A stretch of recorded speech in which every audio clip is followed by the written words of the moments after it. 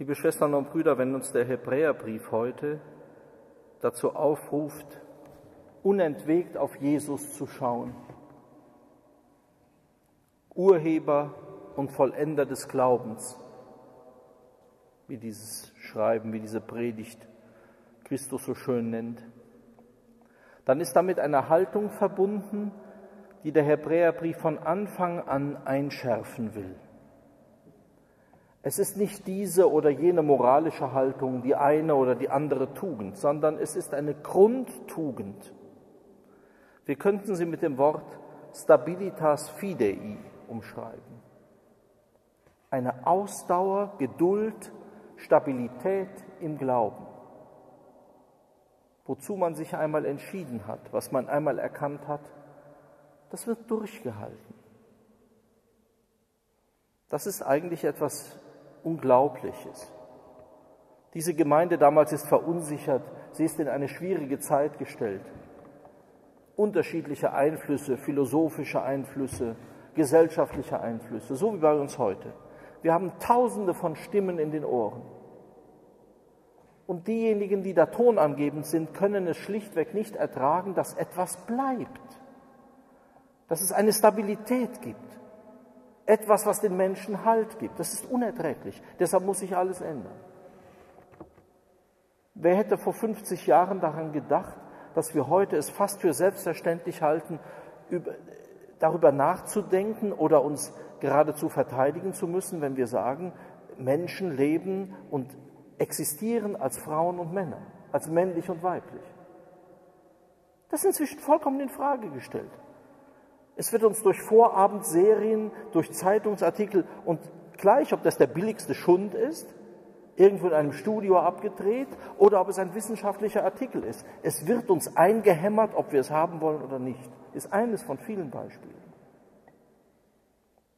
Dass Menschen, seit sie denken können, sich begreifen als Mann und Frau, als männlich und weiblich, dass es da eine Zuordnung gibt.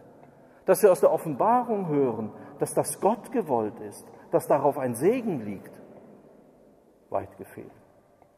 Wenn Sie das heute laut sagen, haben Sie eher noch eine Klage am Hals, weil Sie irgendjemand diskriminieren.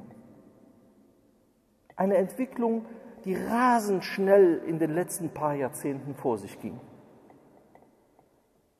Und das sind die Gründe, die sozusagen uns auch durcheinander machen wollen, uns durcheinander bringen wollen.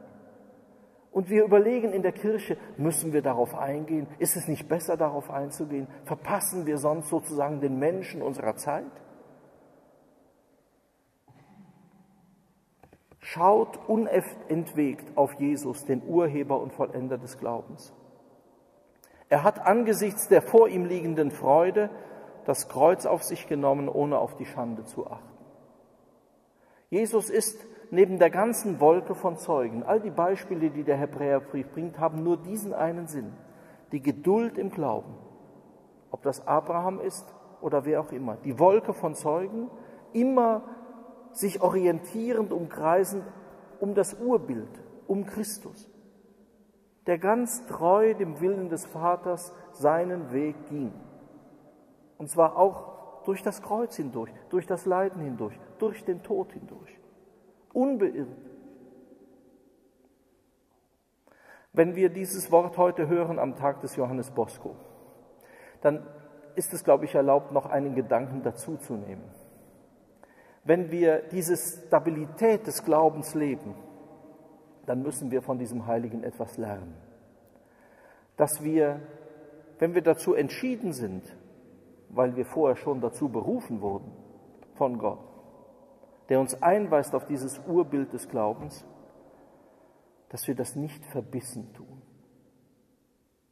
Wenn man so die Diskussionen verfolgt, auch im innerkirchlichen Raum, mit welcher Verbissenheit diese Diskussionen geführt werden, mit welcher Herzenshärte, dann muss uns auch der Hebräerbrief in den Sinn kommen. Die Generation, die immer als Exempel dafür gebracht wird, dass sie diese Ausdauer und Geduld nicht hatten, die hin und her geworfen wurden und deshalb ihr Ziel niemals erreicht haben, ist die Wüstengeneration, die auf Gott nicht hörte, die nach ihrem eigenen Herzen, wie das so oft in den Psalmen heißt, die nach ihrem eigenen Herzen gehen wollen, nach dem Gutdünken, nach dem, was so gerade dran ist, nach dem es uns gerade so gelüstet oder was uns gerade in den Sinn kommt oder was gerade Mode ist. Kein hartes Herz haben, sondern ein gutes Herz, das unentwegt auf Christus blickt und mit ihm auf die vor uns liegende Freude.